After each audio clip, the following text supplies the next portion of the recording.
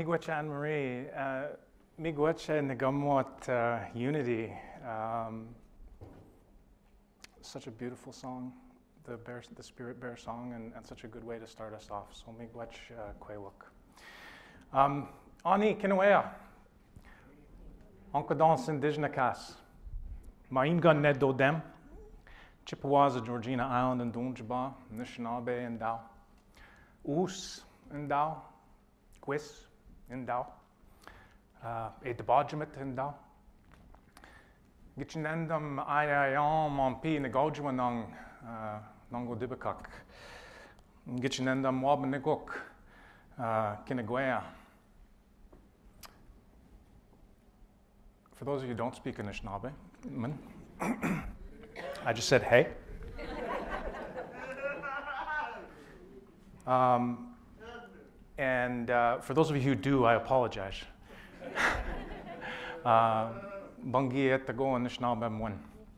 uh, I'm just learning the language of, uh, of my ancestors that my grandparents spoke fluently, uh, but I am learning, doing my best. Um, what I said was my name, my clan, the community that I'm from, uh, I said that I'm a father. I said that I'm a son. In fact, my mother is here this evening, Sharon McCue. She likes to describe herself these days as a little old lady, so I'm going to get her to stand up. Sharon McCue.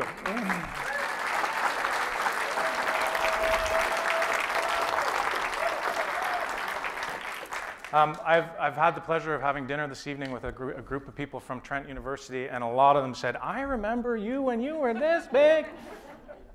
Um, of course, my, my dad uh, and mom played a big role here at Trent University. Not only were they alumni, uh, but my dad went on to co found the Native Studies Department, then called the Native Studies Department.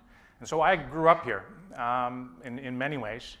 Uh, I was a skateboard rat along with Jamie Standen uh, here on the, uh, on the campus all over the place before skateboarding was even cool.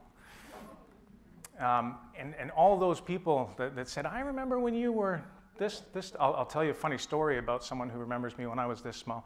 Uh, Professor Dan Longboat may have been one of those ones that remembers me when I was this small because I remember this. Dan, when he was graduating and going off into the then sunset in a very cool sports car, I think, I was this big, like maybe even that big, and he came up to me and he gave me a card. Nobody had business cards back in the 70s, you know, but Dan had a business card, and he gave me a card. And he said, I'm the first person you call when you end up in jail. um, that's good native uncle energy there from, from Dan. I, did, I didn't have to call, but I carried the card around. um, anyway, I'm very happy to be here this evening. Uh, and and uh, it's, it's really is a pleasure for me to be here. I'm so excited uh, to have been invited by Lakefield and Trent and the Canoe Museum, all of which are, are, are such special places. Um, something else that I said in Anishinaabemowin is Edbodjamit Endao, which means literally, I'm one who tells stories or I'm a journalist. Um, and that's what I'm going to talk about this evening is, is uh, a story that I've spent a lot of time covering over my 25 years at CBC. Uh, it's a story that I covered pretty much my whole career, uh, Indian residential schools. And uh, I think I'm going to spend the most time on, a, on the most recent kind of version of that story that I told, which is a podcast called Kuper Island, which I did for CBC Podcasts. And I'm going to take you behind the scenes of it a little bit, tell you a little bit about what I experienced in that, and, and, and hopefully try to distill some of the lessons that I learned uh, through, through that whole, whole journey. Um, how many of you have been to the Gulf Islands in British Columbia? Raise your hand. Cool. Yeah, lots. So, just what for those of you who haven't been to Gulf, the Gulf Islands, for um, people who are here, just shout out some of the things that, that you come to mind when you think about the Gulf Islands. Black bears. Whales, yes, whales, of course. In the Salish Sea, there are lots of orcas. Swimming, Swimming beautiful, beautiful ocean. Whales, yes. Forests, massive, giant forests. Big water, big water. Um, when I think about the Gulf Islands, I mean, it's just, it's such an idyllic place. Majestic, you know, those, those white shell beaches. And you go to the Gulf Islands, you go to places like Salt Spring and, and uh, Galiano, and there's all these artist studios and, and uh, B&Bs, and, and they're kind of famous for the, the, you know, the wellness vibe when you go to the Gulf Islands. Uh, all of these things, of course, have made the Gulf Islands one of Canada's top tourist destinations. Um, this is one of the Gulf Islands, a place called Penelakut. Kuper Island is what the settlers called the place. They named it after a fellow that was on one of the warships that came to the Salish Sea. Unlike those other Gulf islands, Galiano and, and Salt Spring and Pender, the tourists don't often stop at Penelakut. Perhaps the main reason that the tourists don't stop at Penelakut is because it's an Indian reserve. But there aren't any yoga retreats on Penelakut Island. There aren't any B&Bs. There's no farmers markets. There's no seaside cafes. Penelakut doesn't even have any stores on it. It doesn't have a gas station. So, in the eyes of, of some people, I suppose that, that Penelakut, if I, if I asked a word for you to describe Penelakut, some people might call it impoverished. If I was to ask the people from Penelakut how they might describe Penelakut, I think they'd probably describe it as their homeland. Because that, you see that tip, that point there? That's known as Penelakut Spit. The name of the island comes from the Hulkaminam language, Penelakut. And I apologize if there are any Hulkaminam speakers here because I didn't do a good job on that either. Penelakut. Uh, and the root of that verb is to bury. And the name Penelakut comes from this very, very old story amongst the Hulkaminam about, about a time somewhere at the beginning of time, even before the beginning of time. And, and there were only birds and, and animals living on the island at that time. And it was a time when the first people first arrived at Penelakut, and they emerged from a log.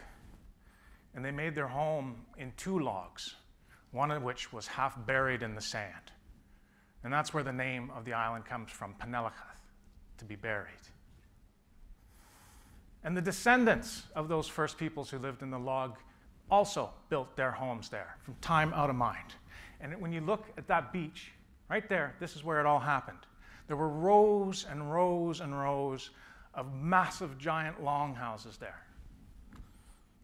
You mentioned the, the giant forests that are so impressive when any of us go to British Columbia. Those longhouses were made from the, they were, they were hewn from those rainforests, those BC coastal hewn uh, rainforests. Such impressive architecture that the people, the Hulkaminam people, and the people from Penelakut built. And they had such a rich and complex and vibrant society there that lasted for generations, from time out of mind, until 1890. Something happened in 1890. Something happened in 1890 on this island that changed the character of the place and it changed the character of the people in ways that they had never experienced before. This is the, the Kuper Island Indian Residential School.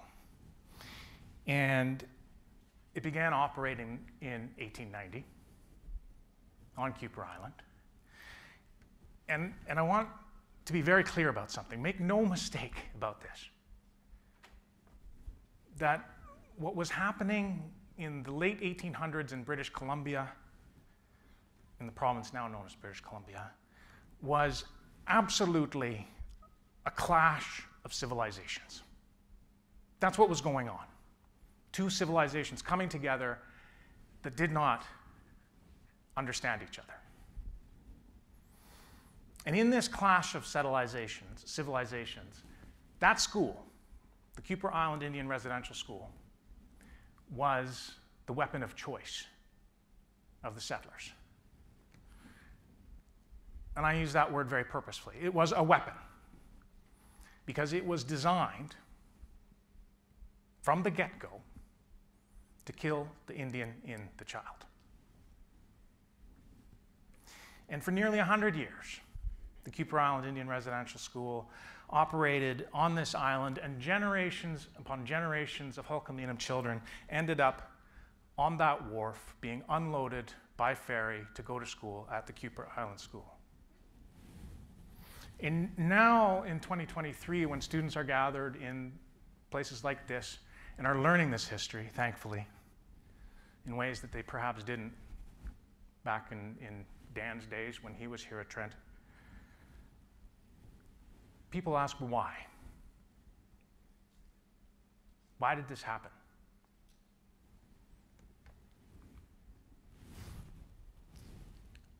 According to this news article from 1925, the school, the Kuper Island Indian Residential School, was a place where Native children were trained to be useful citizens of Canada. That was the rosy picture that was painted for Canadians through the media, by the way.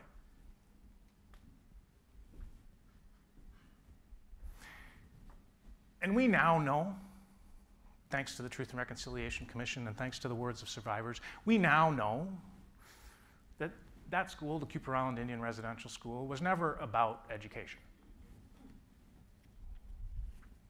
The Kuper Island Indian Residential School was an attack upon families. And in many ways, it succeeded.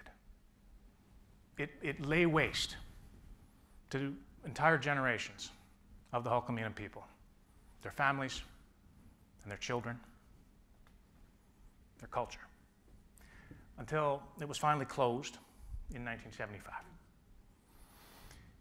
And it didn't take very long, about only a couple of years after it was closed in 1975, the Penelakut people ripped that building down and they burned it to the ground. They wanted nothing more to do with that place. They didn't want it on their island anymore. So, this was the history that I set out to explore uh, back in 2021 when I was asked by CBC to do a podcast on Indian residential schools. This was the history that I was hoping to try to learn more about and to try to tell Canadians about uh, when I headed off to Penelakut. This is what the island looks like now. Um, when the ferry pulls up to the island of Penelakut, you can still see it there. Uh, that long wooden wharf that was built so that the kids could be dropped off at the school, that wharf is still there. The school was ripped down, but the wharf is still there, and there's still uh, a row of cement stairs that led up to the school. Those are the only things that are left of the school. But as you walk around, as you get off the ferry, drive off the ferry, and you walk around the island of Penelakut, the thing that you quickly, quickly realize is that the buildings, the Kuper Island Indian Residential School buildings may be long gone, but the memories of that place are still incredibly, incredibly alive amongst the people that live on the island today and, and it, I'll tell you why. Because as you, this, this, is, this is where the school used to stand. I'm looking out, same, same picture that was right there. I'm looking out at the water from there. But behind me, uh, all these contemporary and modern buildings have grown up on the former site. So just behind me is an adult ed center. There's a daycare. There's a health center. Uh, there's a big house, long house, which is what the, the Hulkaminam people use, where they gather in their ceremonies during their winter spirit dances. They come together as, as community and gather in the big house. All of these things are built on the former grounds of the Kuper Island Indian Residential School, including their band office. Um, and so the school may be gone, except for those cement stairs and the wharf, But community members line up for the ferry every day. The kids go across to the mainland every day, lined up, reminded of all the things that happened in that very spot, in that ground.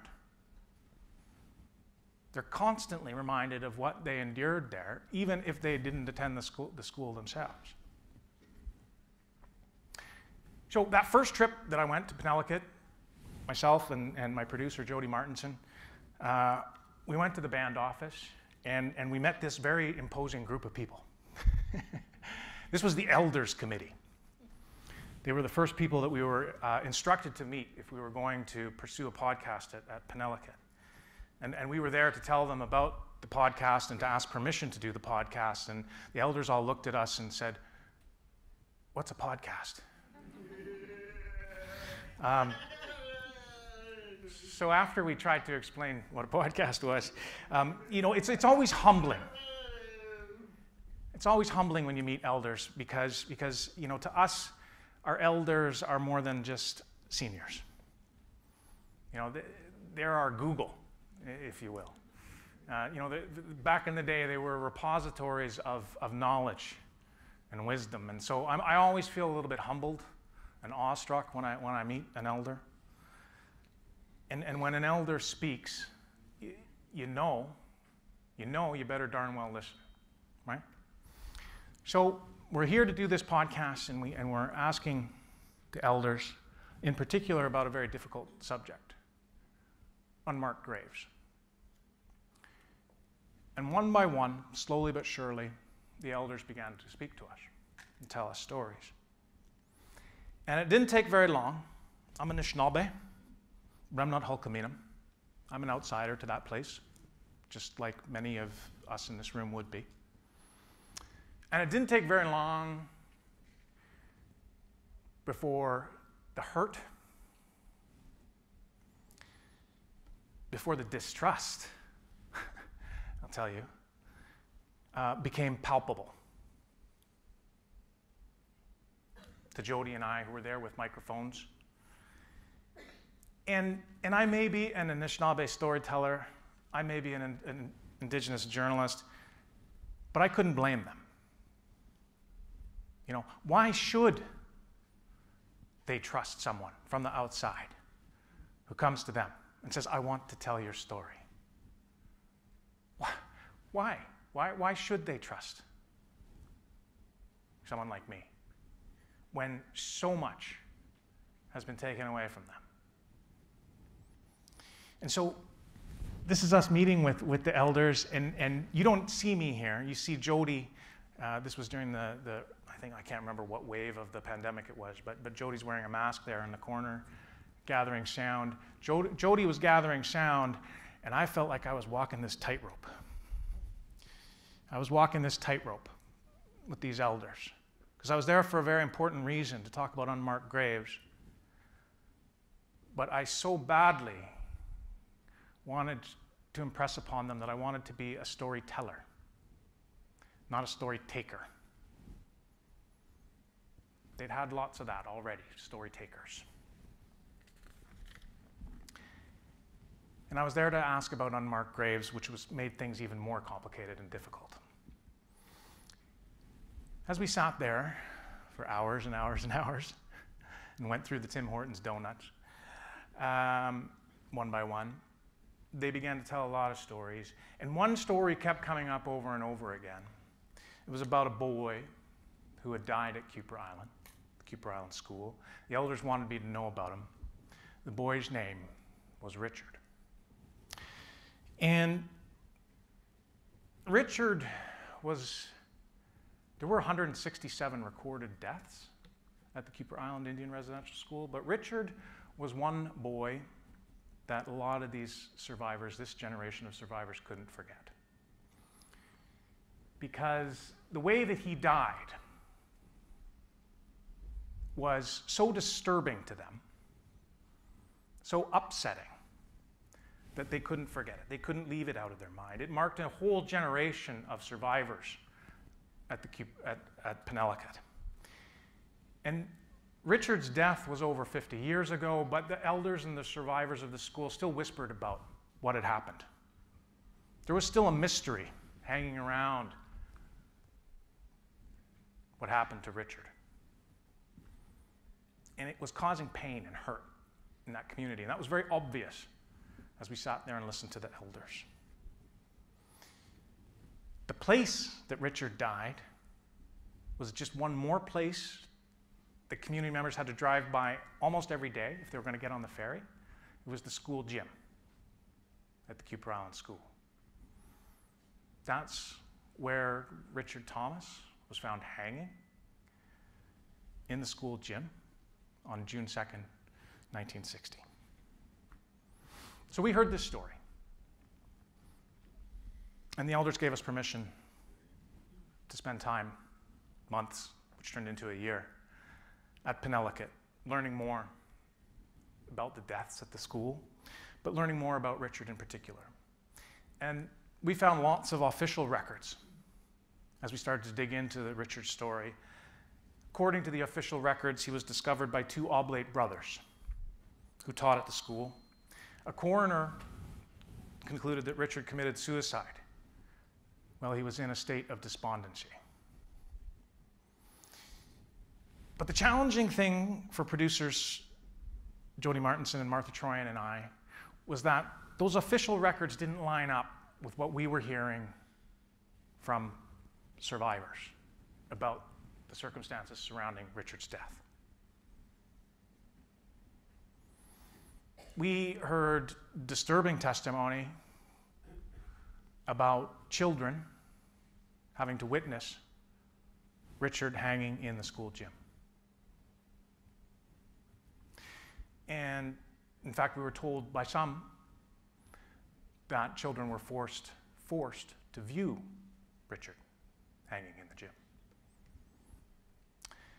And we spent a lot of time in the podcast trying to figure out what happened to Richard. What happened? This mystery that had been hanging over this community for so long. But I mean, we did find some answers. We, we, we did find some answers. And, and I'll refer you to the podcast if you, if you want to find out more. Because, I mean, the point of what we were trying to do wasn't to create a true crime whodunit. That was not the point of us asking more questions about what happened to Richard. I think probably the most important goal for Martha and Jody and I was that we wanted the world to know more about Richard. We wanted them to know about this boy for more than his tragic death. And so that led us to Belvie, Belvie Breber. This is Belvie. Belvie is, is Richard's uh, older sister. Belvie loves Tim Hortons ice caps with a twist of strawberry. I was, she said, remember the strawberry, because I had to bring her a Tim Hortons ice cap every time that I, that I, that I saw her. She said, remember the strawberry. And she also loves the Blue Jays. Probably not smiling quite so big, given what happened with the Blue Jays this fall. Uh, but, you know, big Blue Jays fan, Belvie Breber.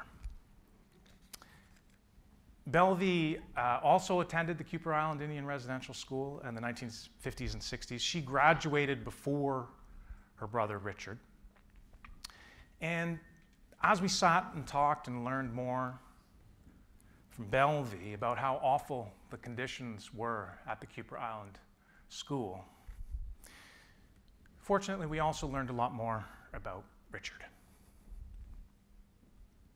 So, this is Richard Thomas. Uh, this is only one of only two photos that Belvie has of him. Richard was a favorite of his mom. Uh, Richard was friendly. Everybody that we met told us that Richard was this incredibly friendly young boy. Um, abuse was common at the Kuper Island Indian Residential School. Uh, that shouldn't surprise anybody, but what was just as common was student on student abuse. Uh, boys beating up other boys, boys abusing girls. Um, Richard wasn't like that. We heard that over and over again that Richard was the kind of boy that stuck up for the little boys that were getting hurt. He was the kind of boy that looked out for the other boys. He had a big heart, Richard did. Richard was a boy with dreams. He told his family that he wanted to be a priest, which might strike you as a bit of a funny thing now looking back on it. But at that time, in the 1960s, that was a really, really, really big deal. The priests in the church played a really huge role in Native communities back then. And he didn't see Native priests in the 1960s because it was a position of authority. And Native people in the 1960s didn't have a lot of authority or control over their own lives. But Richard wanted to be a priest, from which I can ascertain that Richard was a boy with aspirations. And it was neat to learn that. He was a good student. Uh, he was a writer. He was always scribbling in his journal. And I had a chance to read some of the entries in his journal. And, and through that, I began, I began to learn that, that he was uh, a creative, a boy who loved creative writing. So we began to learn all these things about Richard, and then we learned, when we found out about his love of creative writing, we learned something even more surprising. Richard was actually a published writer. And my friend Drew Hayden Taylor is here. He knows how hard that is, being a published writer. Richard uh, was published in this book called Tales of the Longhouse. It's a collection of legends uh, written by First Nations children from Vancouver Island, uh, gathered, um, who went out and gathered stories about elders. And, and this version of the book is a bit of a dusty relic. It was published in 1973. But Richard has three stories in it. Couldn't believe it. One of the stories is about a boy who turned into a deer. Another one is about a, a, girl who transformed into a crow. And the third story, the last one, was an origin story about his people, the Halalt tribe. And that story was told to him by his father, Stan Thomas. And I'm just going to tell the short version of it. Uh, it's a legend about a man who, who lived a long, long, long time ago, all by himself. And then one day he was out hunting and he saw a creature that he had never seen before. He saw a creature that was walking around on two legs. And he didn't know what that was. So, according to the legend, the hunter ends up trapping this creature and discovers it's a woman. So, I'm going to read you the end of the story. These are the words of Richard Thomas. The man decided to call his woman Halalt after a beautiful fish he had one day seen his father catch because he thought that she too was beautiful. She decided to call him Mishkin and when they were very old, they had many grandchildren. These young people wanted to call themselves the Mishkins, but he said before he died, This is Halalt's tribe. There is still a tribe called Halalt. I know this because I am one. It kind of gives me goosebumps just uh, even reading it right now. Uh, it gives me goosebumps for a couple of reasons. despite the incredible colonizing experience that Richard was subjected to going to the Kuper Island Indian Residential School, there is still a confidence there in that voice of his. There's still a pride in where he comes from. And so when we read these words, going on this journey that we were on, it was almost as if Richard was speaking to us like he wanted us to know something, like he was guiding us on our journey. Another thing that we discovered about Richard is that, unlike a lot of children who went to residential school across the country, Richard came home. He was buried at the Halalt First Nation cemetery, and that gave his family some measure of comfort. Because, as we know, so many families did not have their children come home.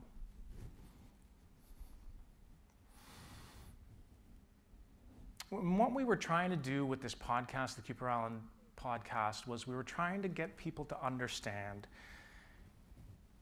that the death of a child, that it ripples. It ripples through generations. And we were hoping that by telling Richard's story, we might be able to put the face to one of these deaths at residential school to one boy to help people understand that. The National Center for Truth and Reconciliation's latest count for the number of children who died in Canada's Indian residential school is 4,130 and counting. And we will never know much about most of them. We won't know what they wanted to be when they grew up. We won't know about their dreams. And indigenous communities have known about these deaths for a really long time. Not news. The Truth and Reconciliation Commission knew about these deaths for quite a long time. Published a volume about it when they released the report in 2015. Not news. But a lot of Canadians didn't know that story, or hadn't heard that story, or weren't listening to that story. So, this is Toronto on Canada Day in 2021. That's me walking down, well, it's not me, but I, that's me walking down the street. Um, not long after the announcement of 200 unmarked graves at the Kamloops Indian Residential School, people in Toronto gathered, and people in cities right across the country gathered, not wearing red and white, but wearing orange. There were thousands and thousands of people walking downtown Toronto. They stopped all the traffic. People of all different colors, all different races, all different sizes, ages. I was there with my children and my partner and her daughter. And there were speeches. There were speeches in City Hall. There were people that wanted clean drinking water for First Nations in this country. There were powerful speeches about wanting to, to, to reduce the numbers of Indigenous people who are incarcerated in this country, wanting to reduce the numbers of children who are scooped by child welfare agencies. There were powerful speeches but wanting justice. And I'll tell you, standing in that place, listening to these people, with all of these people demanding justice on that day, it gave me hope it gave, it gave, it, it, it gave me hope that something could change. But as so often happens, when we have these moments like this in this country, the day after the protest, some of that energy began to wane. Those calls for justice began to get quieter.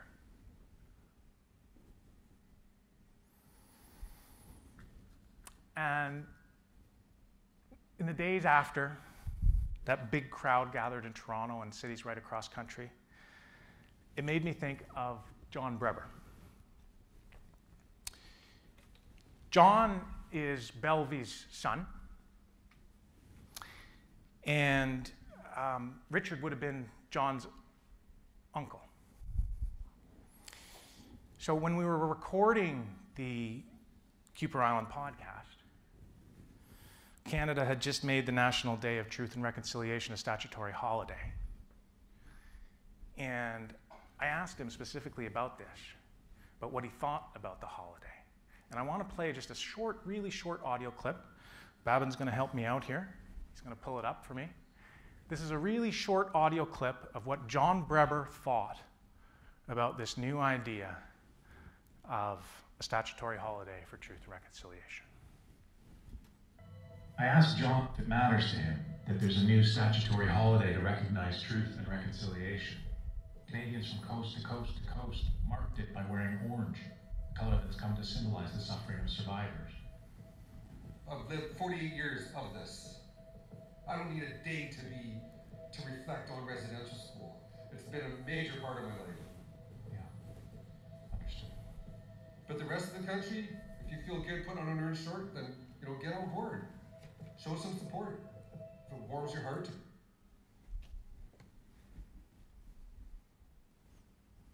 I think you can hear the bitterness in John's voice. I see some people nodding. And, and I don't think John would disagree.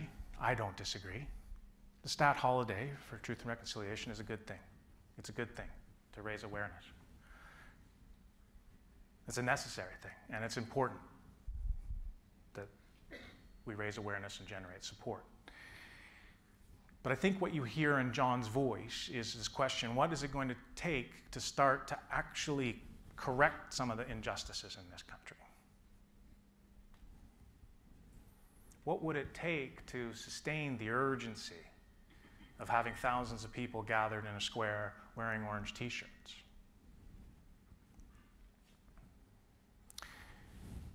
So, can you guys help me out? Okay, so Babin, we're gonna we're gonna do the tricky thing here. So so there's a QR code. Okay, you got you got phones? You got phones? I'm gonna do this exercise that I saw Murray Sinclair do, who was of course the the the, the chair of the TRC. My mother's looking at me. She said, "I didn't bring my phone. you didn't tell me about this, Duncan." Um, if you've got a phone, scan the QR code. Okay. And this is an exercise, full credit to Murray, Murray Sinclair. Uh, he did this, and I'm, I thought it was very effective. Um, so you'll scan the code, um, and you should be able to get into the app. And what I want you to do, once you get into that app, it's going to say, pick, choose a photo. Do you have photos of children on your phone? I bet most of us do. Most of us have photos of children. I'm going to tell you what's going to happen. Those photo post if you can. Post your photo. It'll say pick a photo. Pick a photo of that favorite child that you have on your phone and post it up here for me, okay? And I'll tell you, it's going to be shown up on the screen. Uh, I'll delete them all afterwards, okay? I'm not going to share them anywhere publicly. If you feel uncomfortable sharing that photo of that child, is it working? Yeah? Okay. If you feel uncomfortable sharing the photo of that child, what I want you to do is just lean over to your neighbor right now and show them that child. Or post the photo and do the tell your tell your neighbor right now about the child that you just picked, that photo. Take a couple minutes, go ahead, tell them tell them why that child is so special to you. Tell them why you got a picture of them on your phone. Tell them, tell them what he was, what he or she or they were doing that day. Okay? So just just take take a few seconds to, to tell your neighbor about that, that child. And then Babin and I are going to pull up that screen.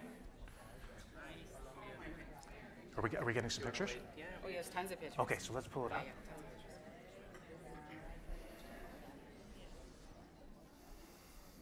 There we go. So here's some of the photos that you're posting of the children that we're seeing on our phones. That guy looked like he just graduated. oh, goodness.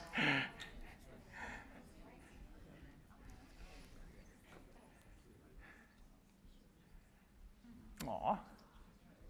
Honey Nemosh.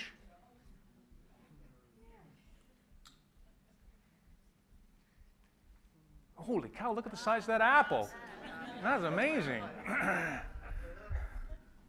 and it's such a big, oh yeah, sport. There's a, there's a football fan. I have to say, when Anne Maria was reading uh, out my list of accomplishments, perhaps the biggest accomplishment that I was proud of when she was reading it out was that undefeated under 15 hockey team back in the day. Oh, I'm so happy to see all these, all these young people. Oh, look at that little one going by. Oh, that's a really little one. little balloon jeans. Oh. Okay.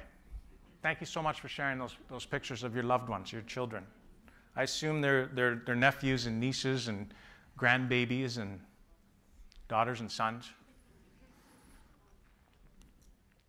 So here's what I would like you to do now.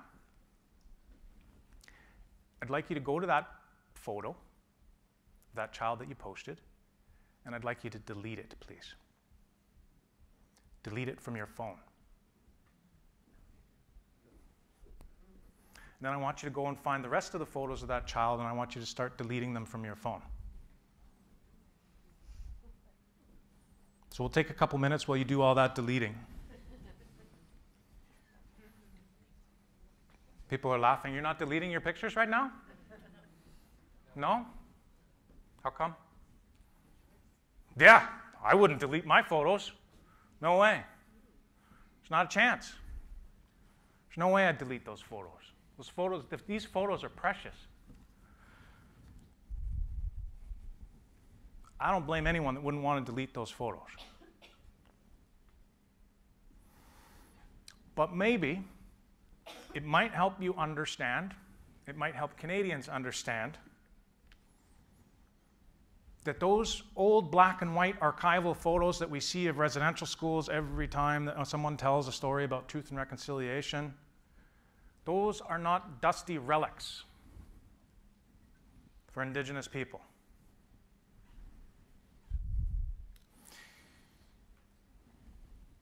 To Indigenous people and our communities, those photos are our relatives. And they got deleted.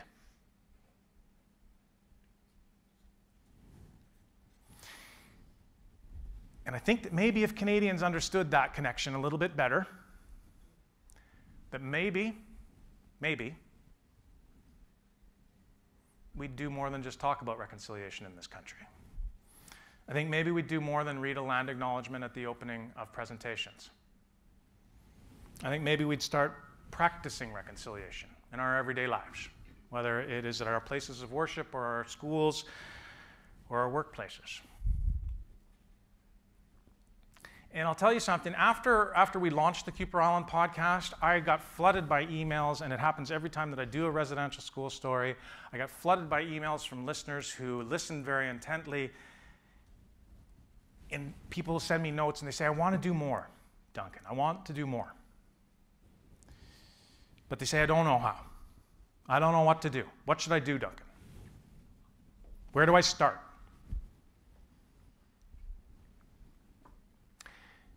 And so I got about five more minutes or so left, and I want to shift gears. Been talking about Kuper Island Indian Residential School and Richard Thomas, but I want to shift gears into talk about reconciliation um, and what you can do. So we'll bring the slideshow back up again. And I wasn't stuttering when I said reconciliation. There are three R's in reconciliation, and I want to walk you through what the three R's are. Okay? The three R's in reconciliation are relationships, respect, and reciprocity. Relationships, respect, and reciprocity. Relationships are probably the most important one when it comes to reconciliation. The chair of the TRC, Murray Sinclair, said that reconciliation is about forging and maintaining respectful relationships. There are no shortcuts.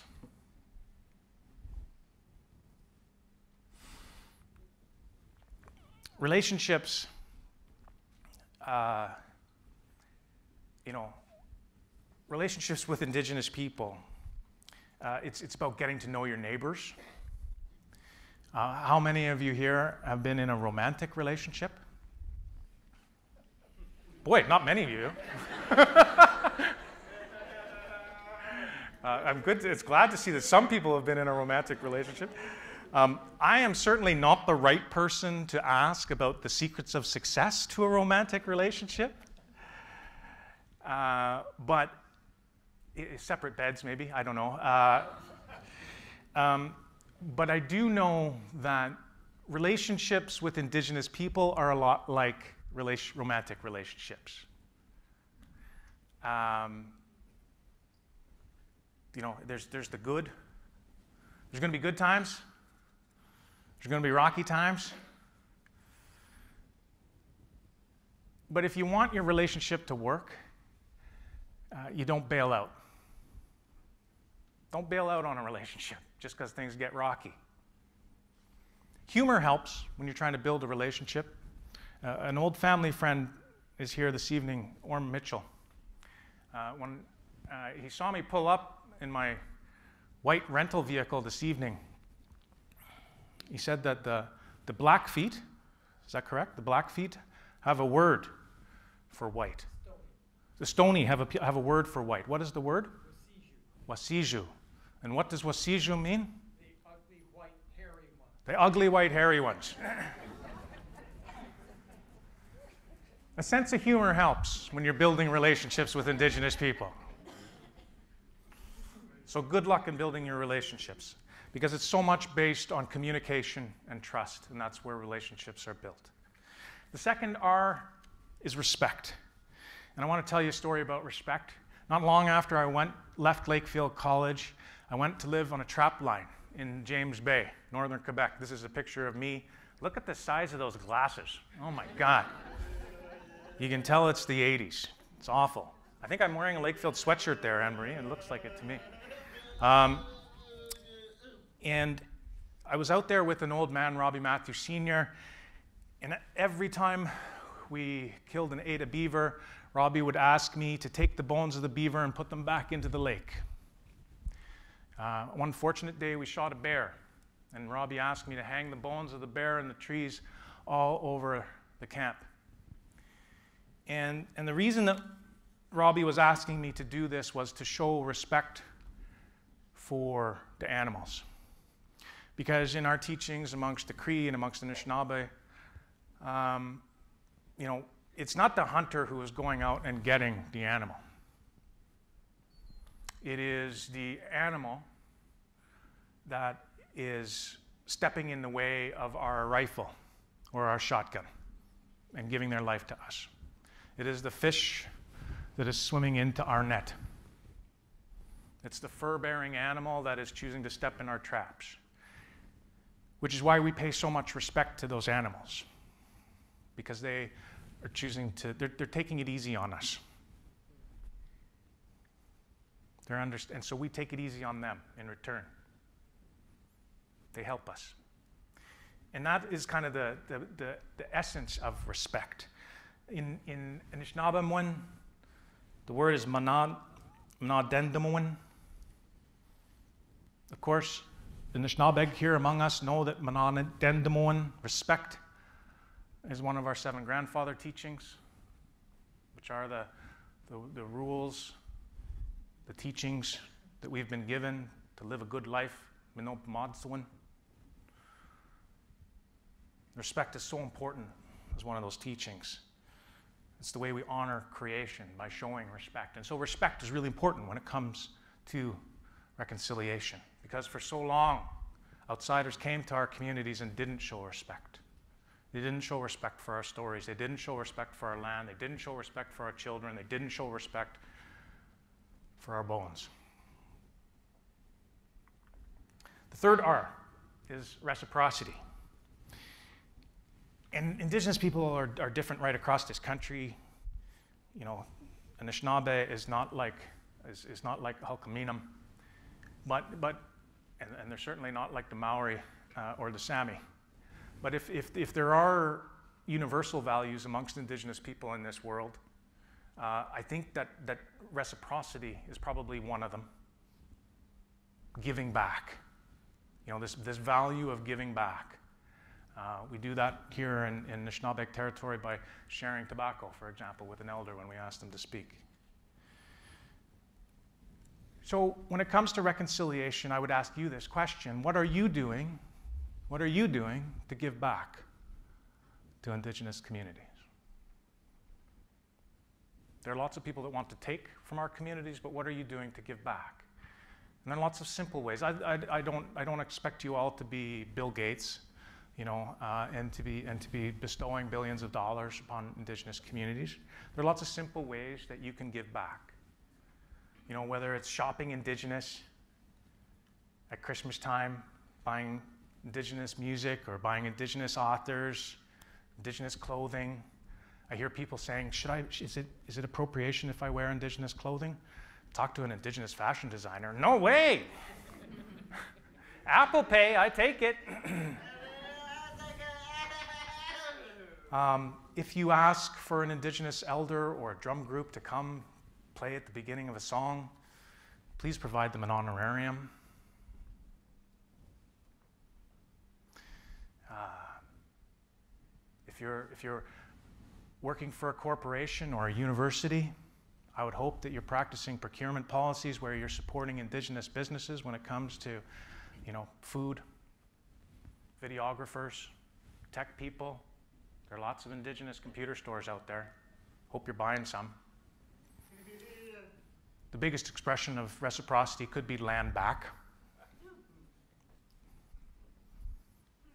Leave that for another day. So, when I get these emails from people who say, I don't know what to do, I don't know where to start, I say there's a roadmap. There's a roadmap to reconciliation. And it's got to be more than land acknowledgments, it's got to be more than wearing an orange t shirt. It starts with having a strategy. Okay? Antoine Saint, Antoine Saint Exupéry, the author of The Little Prince, uh, he said, uh, a goal without a plan is just a wish. And I see that a lot from indigenous organizations. I see that the, I saw that at the CBC actually. Lots of people with good ideas, but no one planning it, no one figuring it out, no one figuring out the long-term strategy. Sit down, figure out a strategy, figure out a plan, figure out if it's working, check in, change things if it's not working. Hire more indigenous people. It's got to happen. If you're going to develop a strategy, if you're going to change things, you've got to have indigenous people on your team. And as I said, build relationships, act with respect, remember reciprocity. These are all things that are a roadmap to reconciliation, and they're things that each and every one of us can do to make things better in this country. So, for those of you who are non Indigenous, that's your responsibility when it comes to reconciliation. Be a good neighbor, be a good treaty partner. Those are all the responsibilities of non Indigenous folks in this country. For the Indigenous people in the room, we have responsibilities too when it comes to reconciliation.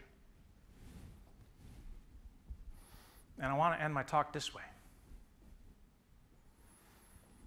Because it was hard. It was hard spending a, year on the island of Penelakut hearing about the things that had been torn apart by the Kuper Island Residential School. I started this talk talking about school.